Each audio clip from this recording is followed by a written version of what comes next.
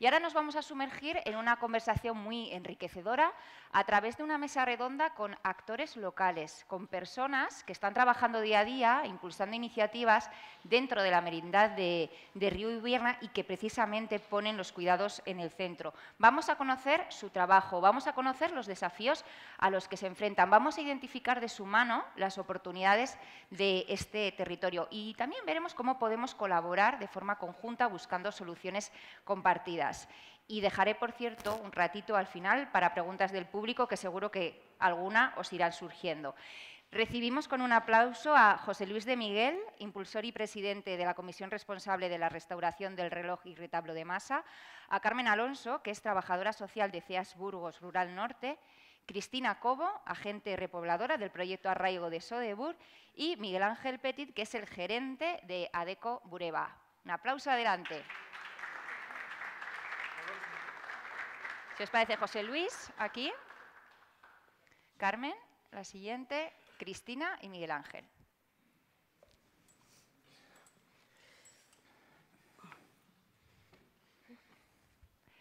Bueno, pues eh, como yo creo que ya estamos calentitos, no hace falta así que yo meta demasiado rollo ahora. Vamos a ir un poco directos al grano y quiero hablar contigo, José mm, Luis.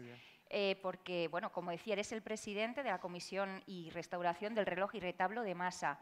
Un proyecto, por cierto, que ha salido en muchos medios de comunicación. Quiero que nos cuentes un poquito sobre este proyecto y qué os impulsó a poneros manos a la obra.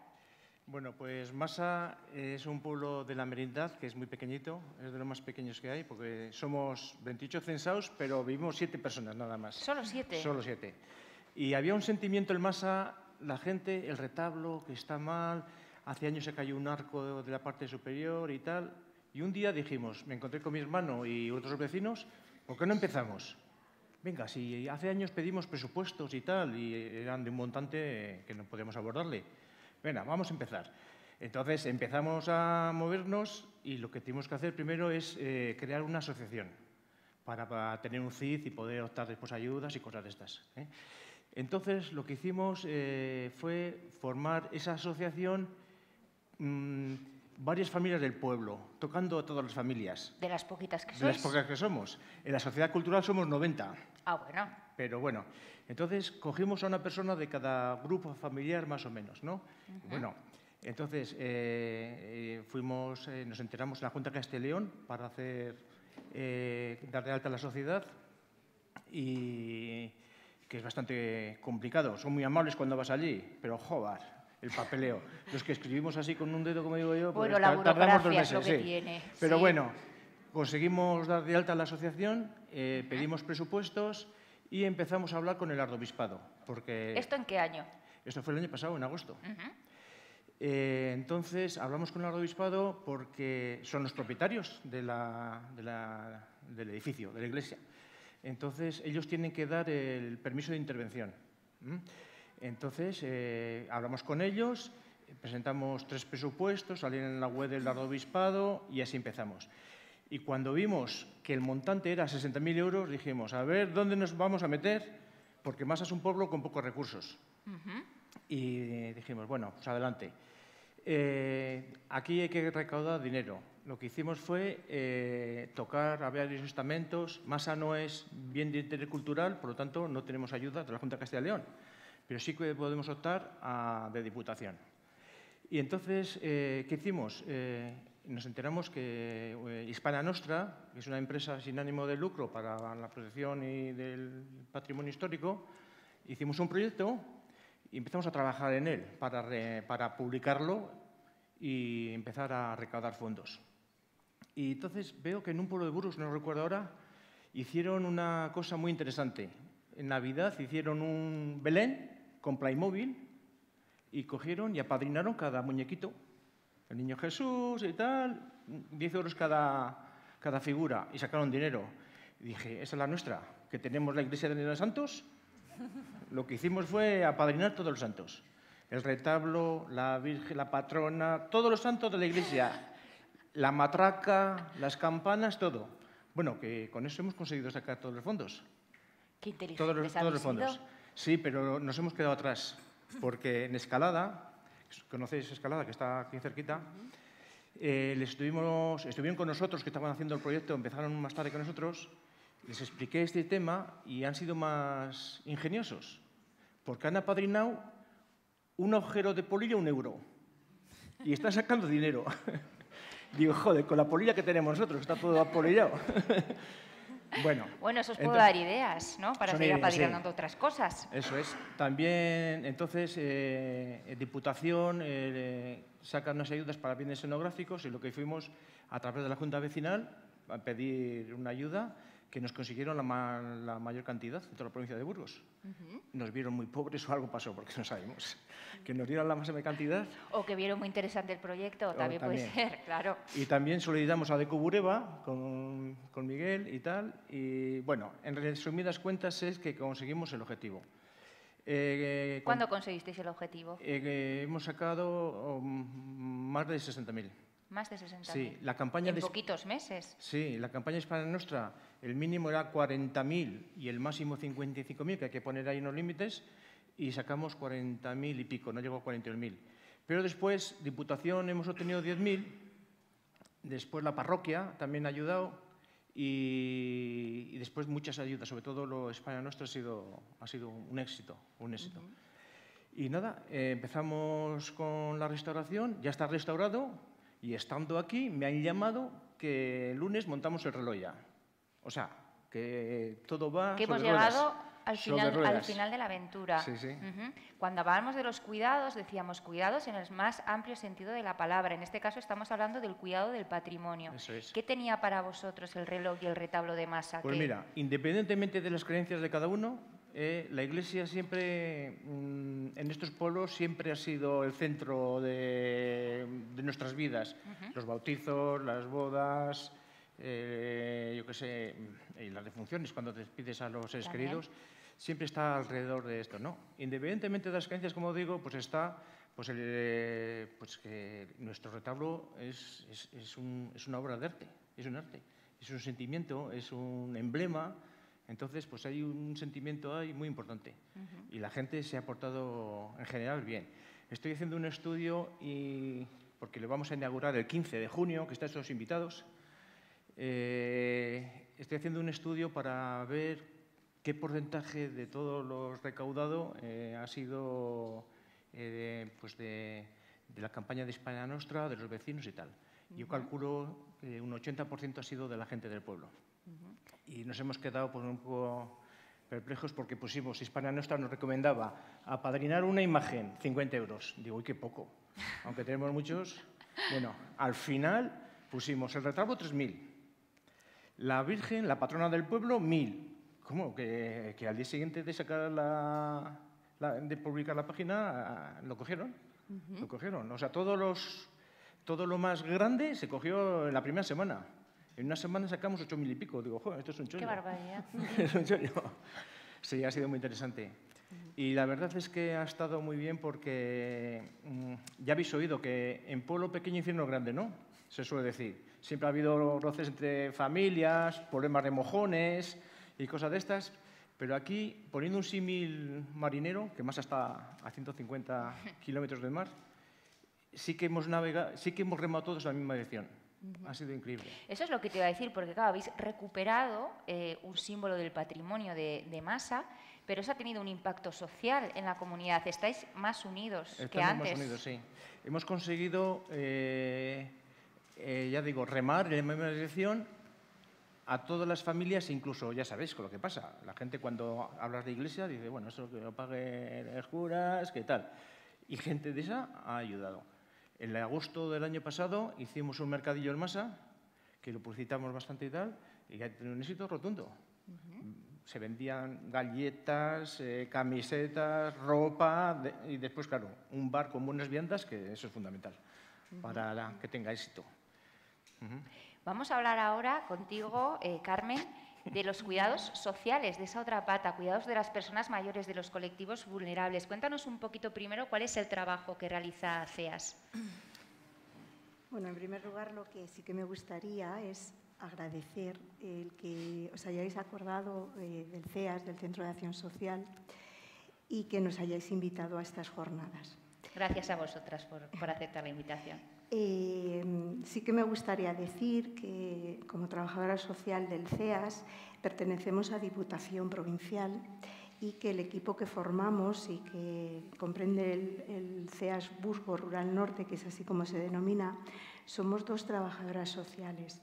Ahora soy yo un poco la cara visible, pero está mi otra compañera, que es Sandra, Sandra Álvarez, que también es trabajadora social y que, bueno, pues que trabajamos eh, codo con codo para ayudar y cuidar eh, a las personas no solo de la merindad, sino del resto de municipios que atendemos. Eso es, dos trabajadoras sociales para cuántas personas? Bueno, pues tenemos cerca de, no pasamos ya a los 10.000 habitantes. tenemos 88 municipios que atendemos y 23 ayuntamientos. Junto con nosotras, que bueno, pues hacemos el trabajo de, cuidar, que es un poco lo que nos trae y nos une hoy un poco a todos, eh, tenemos también eh, una animadora comunitaria, Maribí, que quizás pues, por las características de la zona, que es una zona pues, eh, envejecida, que hay mucha población mayor, pues trabaja ella mucho todo el tema de envejecimiento activo, de apoyo al, apoyo social y que, eh, pues bueno, de alguna manera lo que pretendemos es crear un lugar de encuentro en el que las personas se reúnan, se junten y tal. Yo en este, en este CEAS y en concreto aquí en Sotopalacios llevo eh, casi 30 años, en octubre. Llevo 30 años trabajando aquí. Y bueno, pues la verdad que mm, desde el ayuntamiento siempre se nos ha facilitado todo, nos han acogido fenomenal y yo, bueno, pues he tenido el privilegio de ir viendo cómo ha ido creciendo un poquito todo en el ámbito sobre todo de lo que me ocupa, de los servicios sociales. Cuando empezamos, pues empecé yo sola. Eh, apenas teníamos recursos, o sea, muchas veces el recurso éramos nosotros, que bueno, pues lo que haces es informar a, la población, a la gente, cuidar y, bueno, pues acercar a las personas que se encuentran en situación de vulnerabilidad, pues cuáles son los servicios que mejor les pueden eh, eh, ayudar en, cada momento. Y bueno, pues eh, he ido viendo crecer pues un poco todo, ¿no? Como desde el ayuntamiento de la Merindad, no solamente aquí en Soto Palacio, pues han ido creciendo y conservando pues las infraestructuras, pues la creación de este centro que antes no estaba, la creación de la guardería, el, luchar porque desde, desde el ayuntamiento estuviese aquí el centro de, servicios sociales, el CEAS. De los 23 ayuntamientos que, os he comentado que, que conforman el, eh, nuestro ámbito de actuación, pues evidentemente había otros ayuntamientos que también querían que su sede estaría ahí. Bueno, Sotopalacios apostó por ello y prueba de ello es que aquí estamos. Hemos ido cambiando un poco de ubicación, eh, siempre mejorando las condiciones y, bueno, pues eh, aquí seguimos. Y hemos visto, pues eso, lo que os decía, no solo aquí en Sotopalacios, pues un poco el, al resto de los municipios, mm, pues cubrir la necesidad que tengan. Y pues que también de alguna manera pueda ser un, lugar de encuentro, un punto. ¿Qué puede ser? Pues las piscinas de Ubierna que es algo que en verano pues, hace que no solamente la gente de Ubierna, de aquí de Sotopalacio, sino del resto de la merindad e incluso de gente de Burgos, que me consta que, también van en verano. Bueno, pues eso también enriquece y, hace que, la gente pues, esté más unida y junta. ¿Qué necesidades detectáis aquí en la merindad de Río Ubierna? ¿Cuáles son los desafíos a los que se enfrentáis? Pues mira, eh, los desafíos, evidentemente, siempre nos los planteamos como, un reto, como, como una oportunidad. Exactamente. Entonces, eh, teniendo un poco en cuenta las características de la población, que Quitao, pues eh, eh, aquí lo que es Sotopalacios, Ubierna, Villaverde, Peñaurada, que ha habido pues, mayor crecimiento urbanístico, a eso va asociado pues, también un crecimiento poblacional. En el resto de los pueblos, pues como hemos eh, oído un poquito esta mañana, queda poca gente y en su mayoría pues son personas mayores. Eh, ahí es donde nosotras eh, bueno, pues desempeñamos un papel importante. eh, acercándoles, intentando cubrir esas necesidades que pueden tener. ¿no? Pues, eh, siempre oímos hablar de la dependencia, todos los servicios y recursos a los que se puede acceder, ayuda a domicilio, teleasistencia.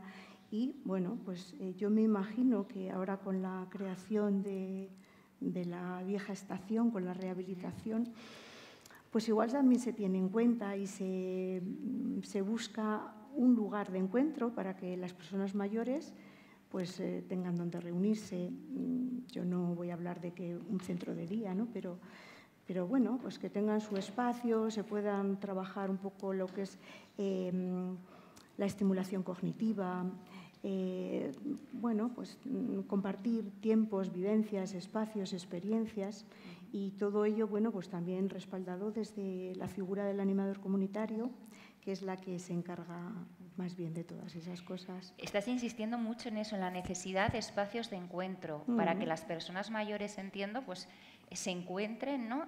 Eh, tengan un espacio en el que disfrutar de una serie de actividades, quizás también para favorecer las relaciones intergeneracionales, personas mayores, personas jóvenes. ¿Cómo estáis en la merienda de Río Buena en ese sentido? Bueno, eso mm, también es algo muy importante y que nosotras como técnicos del CEAS, tanto las trabajadoras sociales como la animadora comunitaria, eh, en alguna ocasión lo hemos valorado. ¿Qué ocurre? Que, por ejemplo, en estos pueblos que, mm, próximos a Burgos, en los que ha habido un crecimiento urbanístico, evidentemente poblacional también implica gente joven, chavales. Eh, quizá algo que, mm, que, nosotras vemos es que el hecho de que aquí no haya un instituto ni en las proximidades, la referencia es Burgos, pues hace que los jóvenes pues tengan su proyecto de vida eh, más en Burgos. En la capital. Eso es. Si aquí, pues eh, sí que se hacen también actividades enfocadas para los jóvenes, pero la tendencia es eso, irse a Burgos. Y tal, pues en verano lo que decía, las piscinas y tal, que quizás sea un poco lo que les mm, haga mantenerse, pues porque vienen también gente de eh, chicos de, de, su edad, pues vienen a casa de los abuelos o vienen, se juntan más, pero también podría tener cabida perfectamente ahí en, en el centro pues eh, bueno, el hacer actividades con, jóvenes con, y que, bueno, mm, también alguna actividad intergeneracional. Tienen cabida perfectísimamente.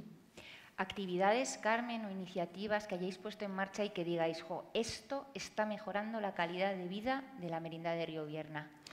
Pues yo creo que al principio, bueno, he incidido un poco en el tema de la figura de la animación comunitaria y Llevamos muchos años haciendo talleres para las personas mayores y bueno, prueba de ella, yo es que estoy mirando a Flor y a María Jesús, que son quizás un poco de las pioneras desde que empezamos a hacer, eh, pues eso, mm, actividades de envejecimiento activo, de estimulación a nivel cognitivo. Eh, inicialmente empezamos a hacer una excursión, que estoy hablando de, yo llevo aquí casi 30 años, eh, se propuso hacer en el ayuntamiento y después de todo este tiempo se siguen haciendo. También eso es un, lugar de encuentro. De hecho, creo que ahora mismo se está preparando el hacer una excursión, no sé si a Santoña, en breve. Entonces, es algo que también eh, pues aúne. Nosotros iniciamos la actividad, seguimos unos años y ahora ya es mm, el ayuntamiento que se ocupa y preocupa en todo momento de, de ello.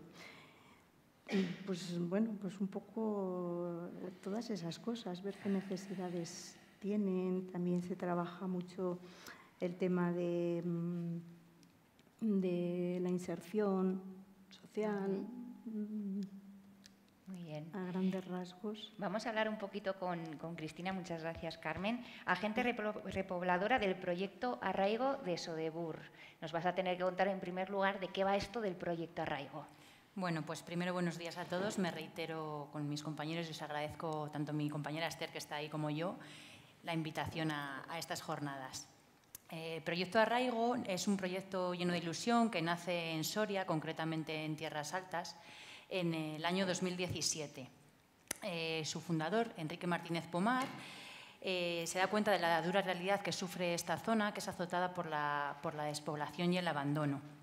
En estos siete años, hemos creado una metodología eficaz y exitosa que nos ha, llevado a obtener eh, grandes resultados en las zonas donde hemos trabajado. Por ejemplo, aquí en la provincia de Burgos apenas llevamos tres meses. Estamos en alianza con Sodebur y Diputación de Burgos. Llevamos tres meses, pero solo ya hemos arraigado más de, más de 30 personas en, toda la provincia que ya, ya están empadronadas. y, bueno, en la provincia de Burgos eh, estamos trabajando en, tres zonas. La zona norte, que la llevan tres, tres, técnicos que trabajan entre otros pueblos en la zona de, de Oña, Espinosa de los Monteros y Villarcayo. En la zona centro estamos mi compañera Esther y yo, con otros dos compañeros que están en Belorado, y llevamos, entre otros, la merinda de Río Vierna, entre otros pueblos, también Castrojeriz, Villadiego y toda esa zona. Y en la zona sur eh, son tres personas las, que se encargan de hacer esta labor en otros pueblos como, como Torresandino, Caleruega o Lerma.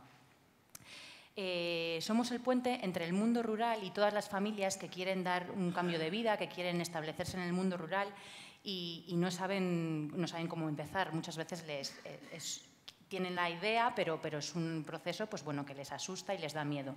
Entonces, eh, esta unión crea oportunidades y fomenta el, desarrollo sostenible en, nuestros pueblos. Sostenibilidad que está muy, muy relacionada con este tema que estamos hablando, que estamos hablando hoy, de los cuidados.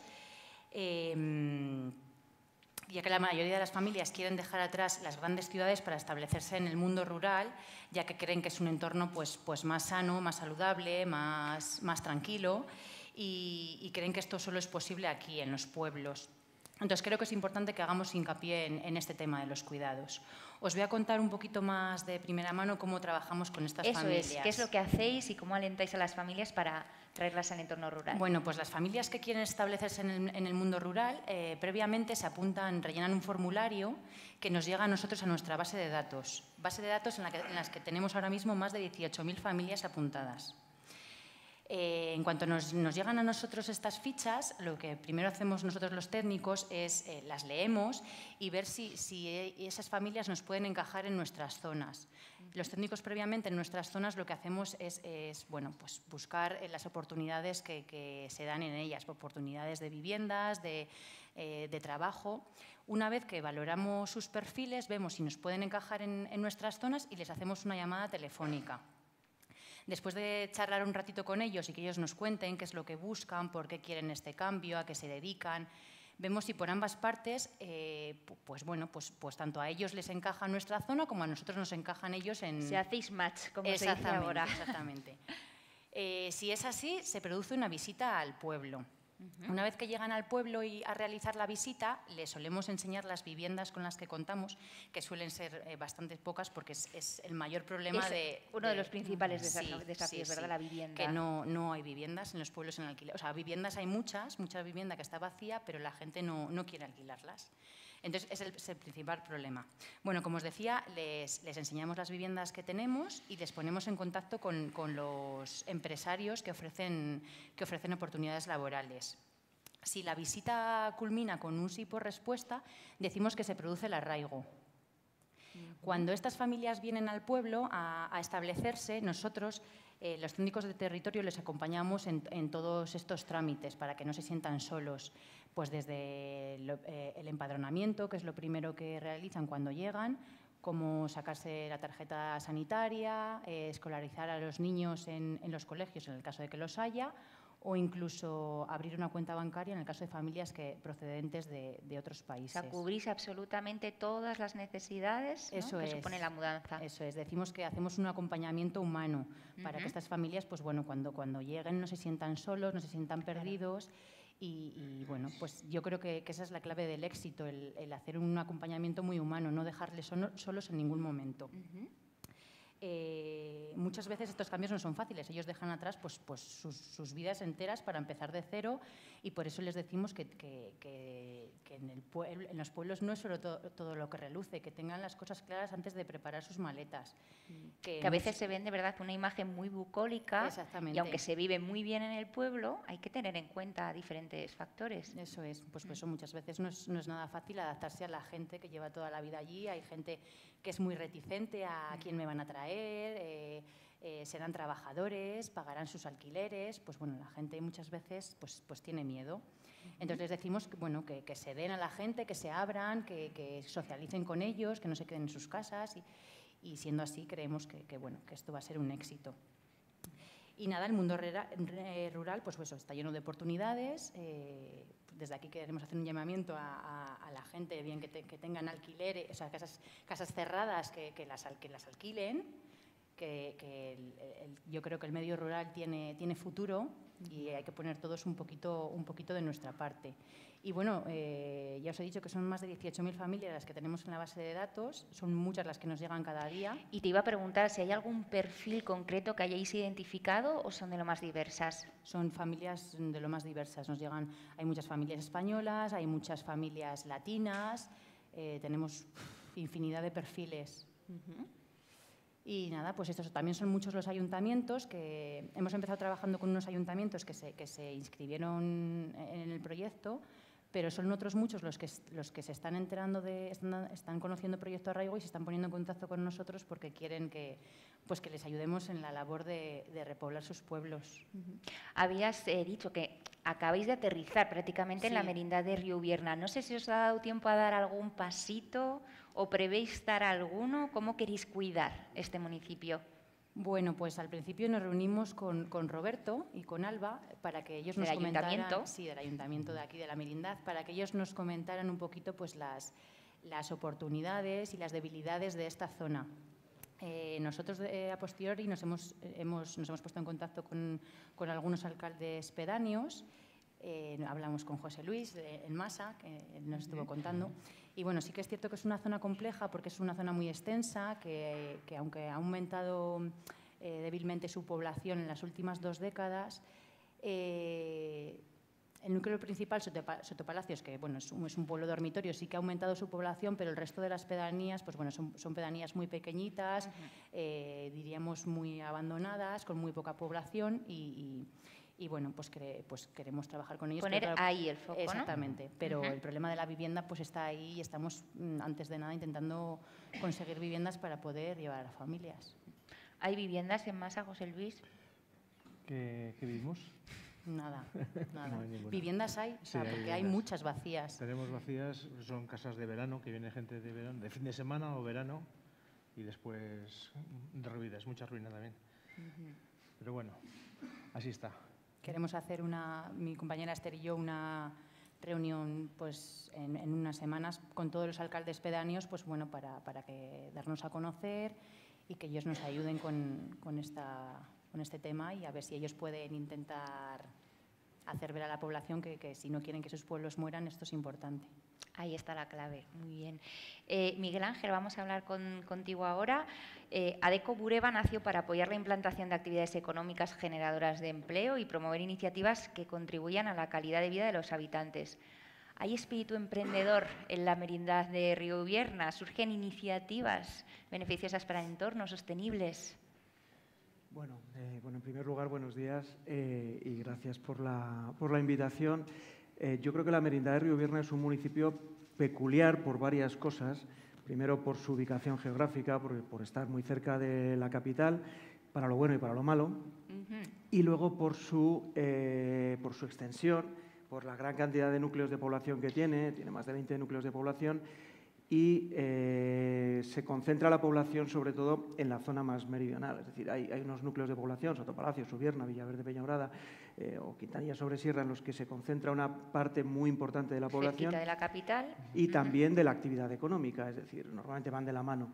Eh, mientras que la zona norte son núcleos muy pequeños en los que prácticamente ha llegado a desaparecer el tejido económico en muchos casos y em, si hablamos de espíritu emprendedor, hay que diferenciar mucho de qué parte del municipio hablamos. Es cierto que aquí hay un cierto dinamismo económico que viene sobre todo de la mano de, empresas agroalimentarias, eh, la morcilla no hace falta descubrírsela a nadie, eh, pero también de los servicios, es decir, de, la, hostelería, de, negocios ligados a la ubicación que tiene el, núcleo de... O sea, un tejido económico variado en esta parte, en la meridional. Claro. Y fuera de esta zona es mucho más complicado encontrar eh, no ya el espíritu emprendedor, sino las oportunidades de emprendimiento. Las eh, las escasas eh, experiencias de, emprendimiento que tenemos en el, sobre todo en la zona más norte, en los, núcleos más pequeños, vienen casi siempre ligadas al, aprovechamiento de los recursos desde un punto de vista turístico. Todos los núcleos de población que componen la merindad, todos, absolutamente todos, tienen algo que ofrecer. Es decir, aunque a veces lo vemos desde cerca y pensamos, bueno, aquí no hay nada, no. Todos los pueblos, los 21 pueblos, tienen elementos atractivos como para que alguien se plantee venir a visitarlos. Entonces, la Vamos a decir cuatro o cinco, por ejemplo. Bueno, en, Masa, por, citar el primero de los que más cerca tengo, yo creo que es un, es un pueblo y es un término, es decir, no solamente el, pueblo como entramado urbano, sino los alrededores, que ofrecen muchas oportunidades para, el turismo. De hecho, hay ya alojamientos de, turismo rural en el pueblo y eso es lo que ha generado quizá el dinamismo económico que tiene la, localidad ahora, una localidad muy pequeñita, pero en la que el aprovechamiento de esos paisajes, eh, sobre todo, no solamente ya del patrimonio que tiene el pueblo, que, quizás se ve más, es decir, la iglesia es un elemento evidente. El propio entramado urbano, es decir, las propias, eh, la, propia composición del, pueblo, eh, el caserío, es muy interesante, es decir, es, una tipología constructiva interesante, pero fuera de masa, si, salimos y nos damos un paseo, descubrimos eh, un paisaje que es mm, para mí sorprendente. De hecho, lo fue. En su momento eh, hicimos de la mano del, ayuntamiento y de la propia junta vecinal un sendero y yo mismo me sorprendí de lo que teníamos en, los alrededores de Hay gente que nos está escuchando que es de, otras provincias y se pues preguntará por qué es tan sorprendente. Porque asociamos Masa a un páramo a un páramo estéril, a un páramo en el que no hay nada, y nada más lejos de la realidad. Primero, el propio páramo eh, ya sorprende por, la, vegetación que tiene en determinados momentos, es decir, el, color del páramo ya sorprende, pero en el páramo nacen flores, nacen orquídeas, nacen... Eh, hay que ir en, los distintos momentos del año a descubrir los distintos páramos que tenemos, es decir, los de los distintos paisajes, pero luego un sendero como este eh, que hicimos en, Masa nos acerca a humedales, por ejemplo, nos acerca a, paisajes diferentes de encina, por ejemplo, a, bosque, a bosquetes de encinas.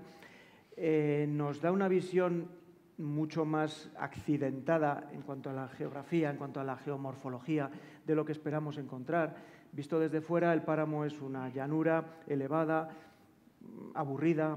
No, si nos damos una vuelta y recorremos ese sendero, y yo invito a la gente a, que, lo, visite, a que lo recorra, vemos que es un paisaje muy variado en esos poquitos kilómetros que, tiene. Pero Masa es un, ejemplo. Cualquier otro de los, pueblos que tenemos en, la zona merece una visita. Quizás Palacios es más evidente porque lo conocemos más porque está en una zona de paso, Ubierna, con el castillo, con la iglesia, con el centro arqueológico que, que tiene o con la ermita de Montes Claros pero en cualquier otro de los, eh, de los pequeños núcleos de población, iglesias como la de Quintana Ruz, por ejemplo, en un pueblo recóndito del norte de la Merindad, hay una iglesia románica que es una auténtica joya. Eh, y, pueblos en los que quizá el, patrimonio arquitectónico, el patrimonio eh, cultural no sea tan evidente. Antes estaba por ahí hablando con, el, el, presidente de la Junta Vecinal de la Hermilla, otro de los pueblos más pequeñitos de la Merindad. Bueno, pues en la Hermilla, aparte de que pasa el mismo ferrocarril que pasaba por aquí, el Santander Mediterráneo, gracias a, la implicación de la propia gente del pueblo y del esfuerzo. Antes hablaba José Chu de, esa implicación de la, gente del pueblo. En la Hermilla, la implicación de la gente de, la localidad ha permitido recuperar entornos, entornos naturales, muy interesantes ligados al, río, pero también entornos eh, ligados al Santander Mediterráneo. Bueno, pues eh, actuaciones que ellos mismos han hecho, pues, aprovechando eh, la tradición de las antiguas veredas, que ya parece que se, olvidan en muchos sitios y que ahora llamamos voluntariado, pero que no deja de ser lo mismo. Aprovechando esa implicación de la, gente, se han hecho muchas pequeñas cositas que al final, si uno echa la vista atrás y, mira la Hermilla hace 15 eh, años y lo mira hoy, no tiene nada que ver. El aspecto, la sensación que da el, pueblo. Eh, muchas veces son pequeñas cosas, pequeños recursos pero que, Pero que mm, tiene un impacto importante y estamos Sí. hablando de ese cuidado de la naturaleza, cuidado del patrimonio como un recurso económico, turístico, desde luego entiendo desde un punto de vista sostenible. ¿no? ¿Otras oportunidades económicas que ofrece la merinda de Río Ubierna? Yo creo que ahora mismo el, el turismo, entendido de la manera más amplia posible, es quizá el, el recurso más claro que Ese tenemos. Eh, No vamos a pensar en montar empresas de fabricación en masa, porque no, pero no, no ese es el, digamos que no, no es el paradigma que nosotros tenemos, sobre todo porque es complicado, quiero decir, por, por razones de comunicación, de agua muchas veces, de, de- cultura empresarial, de existencia de suelo industrial. Entonces, eso lo, lo podemos plantear en Sotopalacios, pero fuera de aquí, la mayor parte de los recursos eh, económicos que podemos tener van o bien por el turismo o bien por el cuidado a las personas, es decir, o bien por los servicios a personas. Es algo que yo creo que en, en el medio rural quizá no se ve porque es, es una, son, son actuaciones de boteo y no, no, son, no tienen un impacto muy grande cada una de ellas, pero las personas que quieren seguir viviendo en los pueblos y que no solo quieren seguir viviendo, sino que tienen derecho a seguir viviendo en sus pueblos, Importante matiz. precisan de servicios eh, de atención de todo tipo, de servicios sociales, asistenciales, culturales, de ocio, de todo tipo. Y tienen derecho a ellos, que a veces parece que, "No, bueno, es que es muy caro prestar servicios en, el medio rural. Bueno, más caro es perder un pueblo, más caro es que se despueble, más caro es perder la memoria de, esa localidad. Entonces, esa gente que, quiere y tiene el derecho a vivir en su pueblo, eh, precisa de una serie de servicios y esos servicios se pueden cubrir a través de la iniciativa privada con medios de, es decir, con, con- puestos de trabajo ligados a la prestación de esos servicios sociales, asistenciales, de todo tipo. Por ahí hay un pequeño nicho de mercado, pero es verdad que es un pequeño nicho que si dimensionamos y nos damos cuenta también del tamaño que tienen nuestros pueblos, un puesto de trabajo en masa, y utilizo a, a José Chuya Masa porque le tengo aquí al lado, pero lo podemos extrapolar a cualquiera de, de estos pueblos. Un puesto de trabajo en cualquiera de estos pueblos, si lo dimensionamos en términos de población, es, primero es una heroicidad y luego es algo muy importante porque si, si, si ese puesto de trabajo eh, va muy ligado al pueblo, eso supone que esa persona que, que trabaja en el pueblo se va a quedar a vivir en su pueblo, en ese pueblo, pero se va a quedar a vivir probablemente con alguien más, eh, con su pareja, con su familia. Eh, al final estamos fijando población con actuaciones muy pequeñitas que normalmente exigen un esfuerzo económico también muy pequeño, es decir, que no son grandes inversiones, pero permiten que una familia se quede a vivir en su pueblo y sobre todo permiten que en ese pueblo haya un servicio que no, que no existía. Entonces yo creo que tanto el turismo, entendido como alojamientos de turismo rural, pero también como hostelería o entendidos como, como servicios de, eh, de, de, pues eso, de cualquier tipo de, de alojamiento, de restauración, un, un pequeño bar. Un bar en un pueblo, primero es el, el- el ágora del pueblo, es decir, es el, es el lugar de reunión, es el lugar social, es decir, no es solamente un bar, es mucho más que eso, es un punto de encuentro, es un lugar de comunidad. El que, alguien abra un bar o mantenga un bar abierto en una pequeña localidad es vida para ese pueblo. Y eso hace que una familia se quede ahí. Todos sabemos que la hostelería exige una dedicación, con lo cual esa familia se va a quedar ahí. No, se va, no va a vivir en Burgos, pero va a venir a, trabajar aquí, sino que se va a quedar en ese pueblo, va a crear un núcleo familiar ahí y va a prestar un servicio que la gente necesita y que además va a hacer que la gente salga de casa y que cada se vez, comunique. sí, y y que cada vez hay más pueblos ¿no? que ofrecen el bar, incluso a cambio de vivienda gratis, porque saben que es un elemento dinamizador fundamental para el entorno. ¿Qué ayudas, qué apoyos se ofrecen desde Adeco Bureba para cuidar la merinda de, de Río Ubierna, para cuidar su economía? A ver, nosotros básicamente tenemos dos líneas de ayuda siempre. Una va dirigida a proyectos que la Administración regional, con muy mal criterio, llama proyectos productivos y otro que llama proyectos no productivos. Yo nunca lo he entendido porque nunca he entendido que el sendero de masa no sea productivo. Es decir, el sendero de masa es un elemento de acompañamiento para el turismo rural de masa que a su vez es un elemento productivo. Entonces, nada es no productivo. Pero bueno, es la diferenciación que la, mm, eh, Junta de Castilla y León hace en este caso de nuestros proyectos. Por un lado tenemos ayudas a la inversión o al emprendimiento. Eh, una persona decide montar una empresa o decide montar una actividad casi diría que de cualquier tipo, excepto de producción primaria, es decir, salvo la agricultura mm, pura y dura, que tiene una línea a través de la PAC muy definida, casi todo lo demás que genere actividad económica y empleo eh, puede optar a, a ayudas. Y, y alguna de ellas hemos, eh, hemos aprobado en esta zona. Por aquí no lo veo, pero hay un supermercado por aquí enfrente. Eh, bueno, pues ese tipo de iniciativas de servicios o de alojamientos o de mm, cualquier tipo de empresa agroalimentaria, no agroalimentaria, tanto de fabricación como de comercialización, son susceptibles de recibir ayudas. Y luego hay unas ayudas que para mí son muy importantes y que eh, nos cuesta a veces convencer a, la Administración de que tenemos que, seguir manteniendo, que son esas que llaman no productivas. Y son esas que van ligadas a temas medioambientales, sociales, eh, culturales, asistenciales. Este centro cívico, por ejemplo, fue objeto en su día, hace ya muchos años, de, una ayuda de, de ADECO Bureba. Esto no es productivo. Alguien podría entender que este centro cívico en el que se hacen actividades culturales, en el que se puede hacer gimnasia, en el que, se, en el que hay una biblioteca, en el que la gente se reúne, eh, yo nunca entenderé que esto no sea productivo. Bueno, pues en, ese, en, esa línea van este tipo de proyectos de recuperación de patrimonio, de, recuperación del, patrimonio natural, de aprovechamiento del patrimonio natural, pues eso, un sendero, eh, cualquier tipo de iniciativa no solo del gran patrimonio, sino también del patrimonio etnográfico, de esa pequeña memoria de cada, de cada pueblo.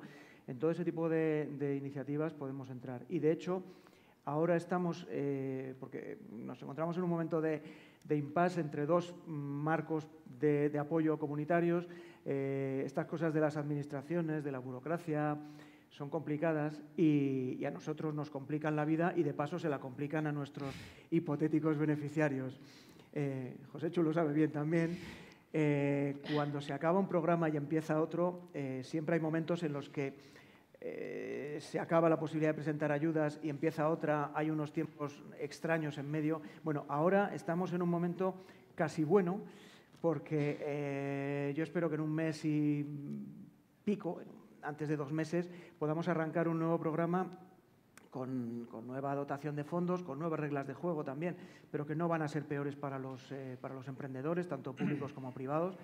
Y eh, vamos a poder mantener ese, ese apoyo a esos proyectos vamos a llamar generadores de actividad económica y empleo y no generadores de actividad económica y empleo, más que productivos y no productivos, vamos a poder volver a, a trabajar en ello. Yo animo tanto a los eh, alcaldes, presidentes de juntas vecinales, aunque esto los animo menos porque normalmente reciben la información antes, sobre todo por culpa de, Roberto, por culpa del ayuntamiento que, que, les informa y que está, eh, nosotros mantenemos comunicación eh, casi diaria. Yo vengo una vez al mes como algo fijo, digamos, pero luego al margen de eso con el ayuntamiento, con, con, Roberto tengo comunicación casi diaria y con Chema, con el alcalde, no me queda más remedio que tenerla porque es mi presidente en Adeco Bureba y me tengo que llevar bien con él y, y tenemos que comunicarnos. Entonces, eh, los alcaldes de los pueblos reciben más información. Pero los emprendedores y los empresarios, que también reciben información, pero que es verdad que no están tan en, en, en contacto directo con el ayuntamiento, es muy importante sepan que en Adeco Bureba también tienen la oportunidad de recibir ayudas, que cualquier proyecto que genere empleo, que mejore empleo, es decir, no solamente un, un, una nueva eh, actividad económica, sino alguien que ya está establecido, pero abre una nueva línea de comercialización o de fabricación o lo que sea, eh, puede recibir ayudas. Entonces, les animo a que vengan, a que nos insistan, a que nos eh, llamen, tanto cuando venimos a, a Soto Palacios como, como cuando yo estoy en Briviesca, porque nosotros tenemos una oficina central en, en Briviesca, pero tenemos tres sedes volantes, una en Soto Palacios, otra en Belorado, otra en Treviño, porque nuestro territorio es muy extenso y, y, y nosotros eh, nos acercamos a, a, cualquier núcleo de, de, población en el que se nos requiera. Es decir, que nosotros, eh, yo suelo decir, y esto si me oye alguien de la, de la, Administración no le va a sentar bien, de la Junta de Castilla y León, pero yo a suelo ver, decir a ver, a ver. que no somos funcionarios de la Junta de Castilla y León por desgracia a veces para nosotros, pero sobre todo por suerte para los eh, beneficiarios de ayudas, porque nosotros somos cómplices. Es decir, no somos a quien hay que pedir una ayuda y a quien hay que convencer, sino somos el acompañante, somos el, el cómplice, somos el que trata de, de, reorientar el proyecto con el beneficiario, eh, tratamos de asesorar, de, de animar, pero de animar en todos los sentidos. Es decir, porque nuestro único fin es que se genere tejido económico, que se genere tejido social y que se generen infraestructuras y servicios. Somos una asociación sin ánimo de lucro, es algo que a veces la gente no tiene muy claro porque manejamos eh, dinero público, fundamentalmente europeo, y parecemos apéndices de las administraciones. En eso nos han incluso intentado convertir a veces y nosotros nos negamos porque no es nuestra filosofía. Somos entidades sin ánimo de lucro eh, formadas mayoritariamente por entidades locales, ayuntamientos, mancomunidades, por asociaciones sin ánimo de lucro que se unen a la nuestra, entre ellas la, asociación que representa José Chu y otras muchas. Somos eh, una asociación que aglutina empresarios, asociaciones empresariales, es decir, eh, todo el tejido económico y social del territorio se reúne en un solo foro de actuación, en un ámbito de actuación sin ningún ánimo de lucro y no recibimos, eh, nosotros no tenemos ningún beneficio, con lo cual donde no hay beneficio ya sabemos lo que pasa. Entonces, nuestro único fin es ese, es que llegue cuanto más dinero mejor al territorio para que se reparta de la mejor manera posible también. Por eso animo a, que cualquiera que tenga una idea nos la traslade pues y juntos veamos si la podemos llevar a, buen puerto. Estupendo. Eh, puede que haya entre los asistentes gente que os quiera preguntar algo, pero antes sí que yo quería saber ¿Cómo veis? Porque precisamente por eso hemos organizado estas jornadas, ese proyecto de conversión de la estación de tren de Sotopalacios en un centro de cuidado, esa estrategia para crear y además para co-crear, para hacerlo de manera participada, la merienda de los cuidados. Mm, ¿Y qué, no sé, qué, cómo, cómo os lo imagináis o qué os gustaría aportar cada uno desde vuestra mirada, desde vuestro campo de operaciones?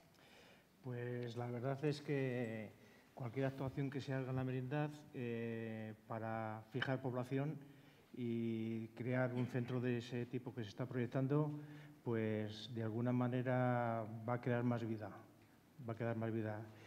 ¿A ti cómo te resuena? A mí me resuena bien porque he participado en los proyectos con ah. me suena muy bien. No, yo creo que es importante porque es un edificio histórico y bueno, hemos visto antes la incidencia que ha tenido en la zona y puede quedar un centro con mucha proyección para la merindad. Y quería decir otra cosa antes.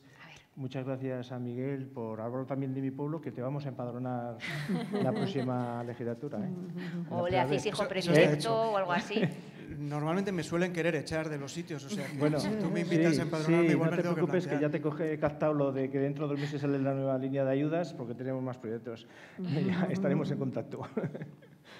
Vosotras y Miguel Ángel, ¿cómo, cómo veis este proyecto? Bueno, yo desde el ámbito de los servicios sociales, evidentemente me parece, me parece una idea estupendísima, maravillosa. Lo veo pues eso como un lugar de encuentro, un lugar de convivencia, de, cuidados en todos los aspectos y yo creo que, va a ser mm, muy positivo para la merindad. ¿En vuestro caso? Pues yo creo que todo lo que sea un lugar de encuentro entre generaciones, pues, pues bienvenido sea y, que sobre que esté el edificio, hay un edificio histórico, como dice José Chu, que esté cerrado, pues qué mejor que, que un centro de cuidados. Bueno, a mí me toca muy de cerca por, por varias razones, pero sobre todo porque tengo la fortuna de ser el gerente del consorcio del Santander Mediterráneo, de la Vía Verde, y ese es un edificio, es un conjunto de edificios más bien, que forma parte de ese pasado ferroviario, de ese legado histórico que tenemos, legado histórico, legado cultural, legado económico eh, del Santander Mediterráneo. Ver esos edificios y otros muchos que tenemos alrededor de la, del antiguo ferrocarril, de la Vía Verde, abandonados, es, es una desgracia que no nos podemos permitir. Y, ver que el ayuntamiento lleva ya un tiempo eh, tratando de dar una salida eh, razonable a todo ese conjunto de edificios, para mí es algo muy gratificante. También he participado en, de alguna manera en ese proceso de, gestación del proyecto, de, tratar de dar eh, ideas, de aportar soluciones y creo, y yo lo, veo, eh, y en mi cabeza hay un, primero hay unos edificios restaurados que ya me parecería un lujo porque visualmente ya sería un gran avance, pero veo un centro de servicios, un centro de, ocio, de cultura, y me parece muy importante que alrededor de, esos edificios podamos tener dotaciones sociales, dotaciones culturales, pensando en los jóvenes, a los que yo creo que hay que darles salidas eh, de ocio, salidas culturales, salidas deportivas o soluciones, pensando en los mayores, a los que hay que mimar, cuidar, dar también eh, soluciones, pensando en toda la población de Sotopalacios y como un lugar de encuentro que puede ser el lugar de encuentro. Es decir, puede ser el gran lugar de encuentro no solo de Sotopalacio, sino de la merindad e incluso más allá de localidades que están muy cerca de aquí, que no forman parte del municipio, pero que al final forman parte de, la zona de influencia de, Sotopalacios por su cercanía, por la capacidad de Sotopalacios de prestar servicios un poco más allá de la, propia merindad. ¿Alguna preguntita entre el público? ¿Alguien quiere plantear alguna cuestión?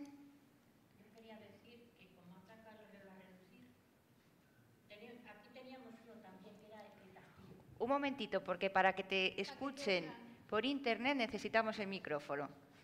Era el castillo, que en tiempo, de tiempo de sol, ese era reloj de sol. La primera ventana era a las 11, la segunda a las 12 y la tercera a la 1. Y después continuamente, sucesivamente, sobre todo en el tiempo bueno, porque era solar el que nos regalaba. Pues es muy, es muy interesante porque en nuestro pueblo, a raíz de este proyecto, el reloj vimos que es del año 1918 por ahí y es un reloj con una esfera que, lleva unas láminas de cobre batido esmatadas al horno y el mecanismo es enorme, es enorme, claro. Hemos intentado restaurarle y no nos llegan los fondos porque nos pide.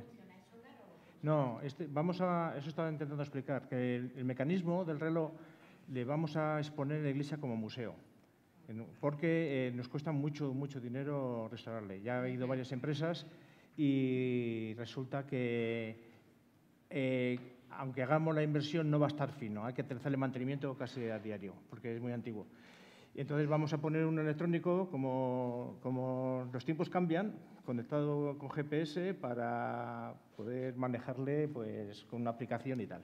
¿eh? Y, y, por cierto, ya me están diciendo la gente que por la noche no toque, porque antes, el del pueblo antes tocaba todas las horas. Y ahora, como toque a partir de las 11, pues igual tenemos problemas. Entonces, bueno, vamos a instalar una aplicación y, bueno, está ya en marcha todo el tema. ¿Alguna pregunta más? ¿No? Pues eh, lo vamos a dejar aquí. Cuidado del patrimonio, cuidados de las personas, cuidados para la repoblación rural, cuidados para impulsar la economía del municipio. Muchas gracias a, los cuatro por vuestra dedicación, por vuestro empeño, por vuestro compromiso, por enriquecer el municipio de, esta manera y por habernos acompañado hoy aquí.